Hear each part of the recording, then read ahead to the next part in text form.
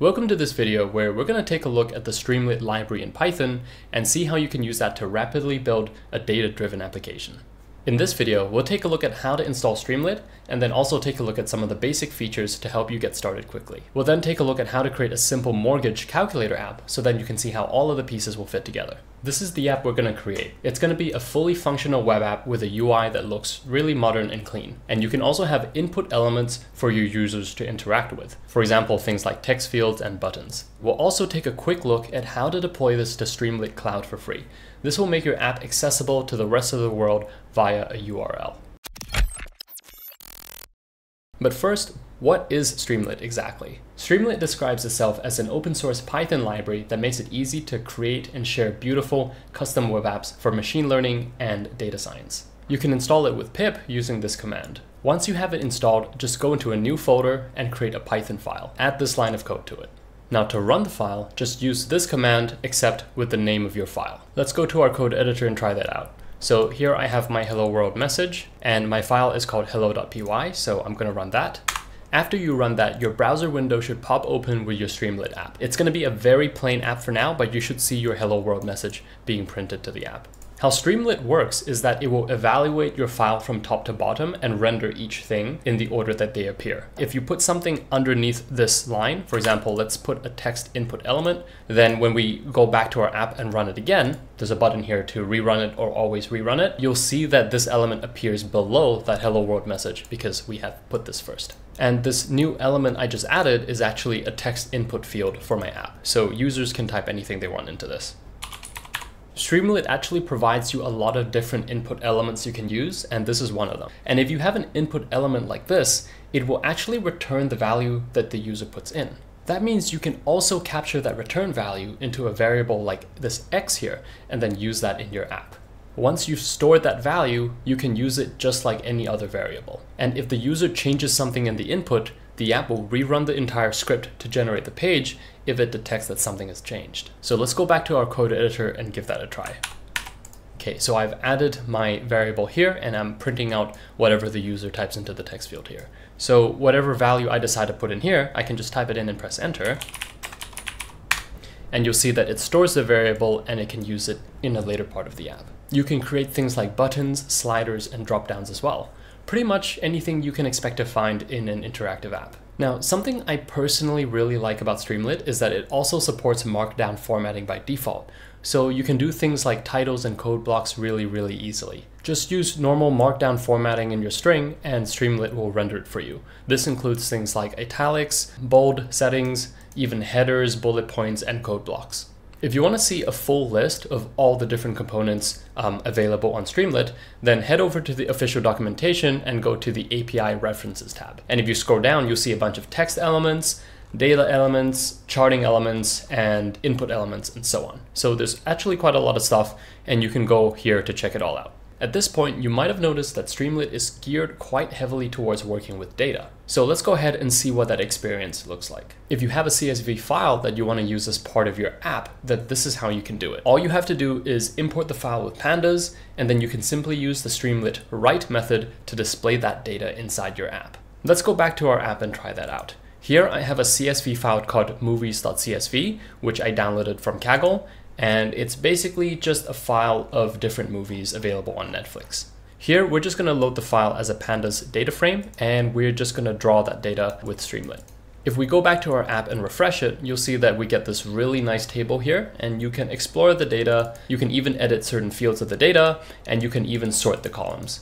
So natively, it's got really good view and really good UI um, for working with CSV data or most other common types of data as well. You can also show your data in a graph. So in this example, I'm going to generate a bunch of random data and I can display it in a bar chart or a line chart. Let's go back to our app and try that out. And here, if I refresh the page, I get the charts that I created with a bunch of random values being plotted. And these charts are really interactive as well. You can zoom in, you can zoom out, um, and you can also mouse over these elements to see what their values are. Once again, if you want to see all the available options, then check out the API references page on the official Streamlit documentation.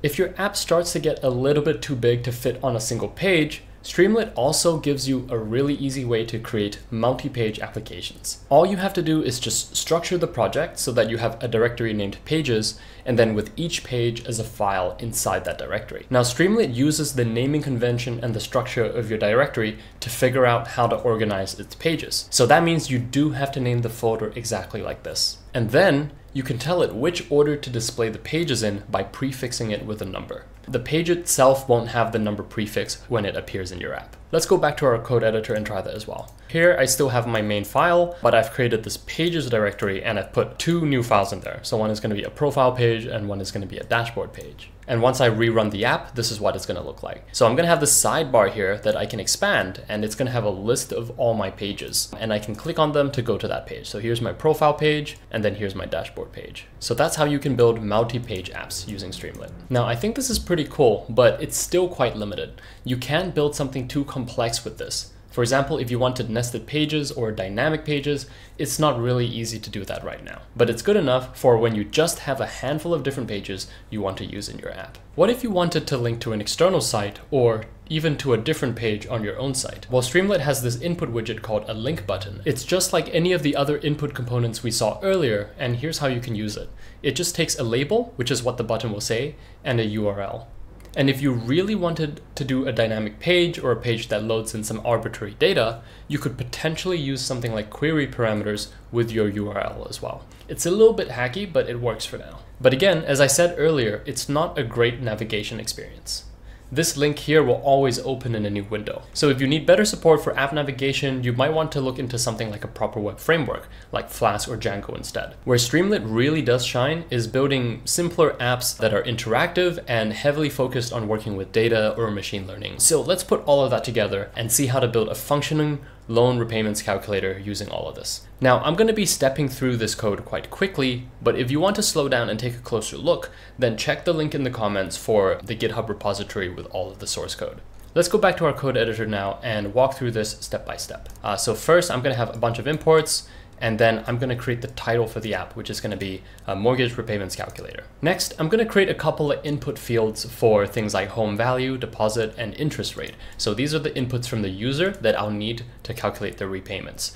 And you can use things like this to set a default value or minimum maximum values. And here, if I want my elements to not display in a single column, I can also use this column component to split it up into two different columns. So I'll have each of these elements render in two different columns side by side. In the next step, it's just a bit of math. There's nothing unique to Streamlit here. This is just mortgage repayment calculator formula. So just go ahead and copy that uh, to get the right value for the monthly repayment. Next, we're going to want to display the repayments. So I want to use this metric element because it will make the numbers kind of pop out and a little bit bigger than if I just wrote it as plain text. So I'm going to use three different metric elements. I'm going to put them all on the same row by creating these columns. And I'm going to show the monthly repayments, total repayments, and total interest. So this is where I'm displaying output to the user. Finally, I'm going to do a bit of math to calculate the payment schedule over the loan term.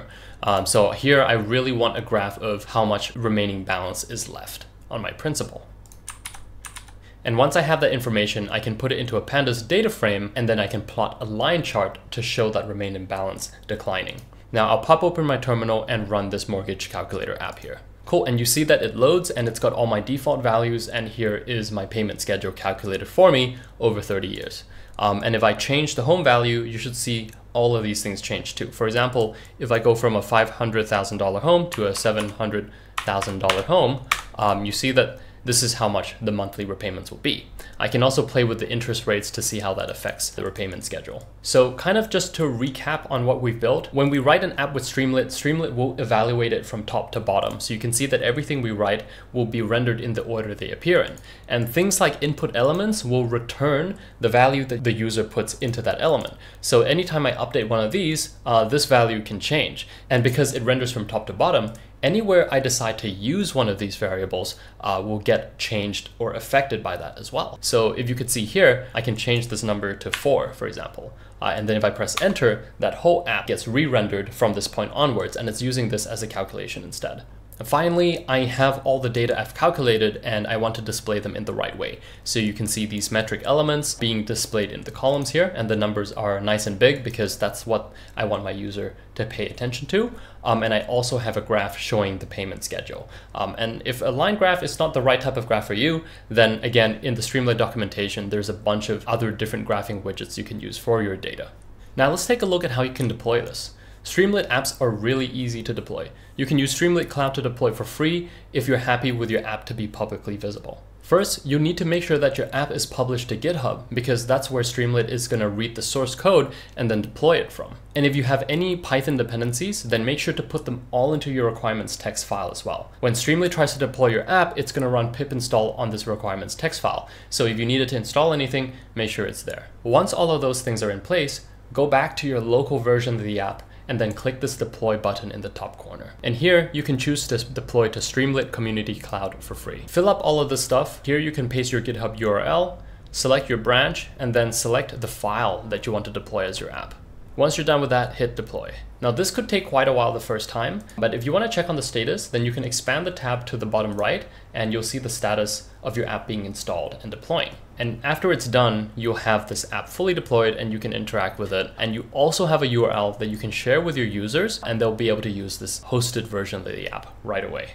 Alternatively, if you don't want to do it this way, you can deploy it as a Docker image as well. You can deploy this to any traditional cloud provider, for example, like AWS. But that's out of scope for this video, so if you're interested to see how to do that, then please let me know. So now we've covered the basics of Streamlit, built a simple app with it, and deployed it to the cloud. This library is great for building data-driven applications where you want your users to be able to see or have simple interactions with your data. It's also really good for building things like a simple AI chatbot or an AI assistant. By the way, if you want to learn how to use AI to chat with your own files and documents, then also check out my previous tutorial where you'll learn how to do exactly that using LangChain and Python. Otherwise, I hope you enjoyed this video and thank you for watching.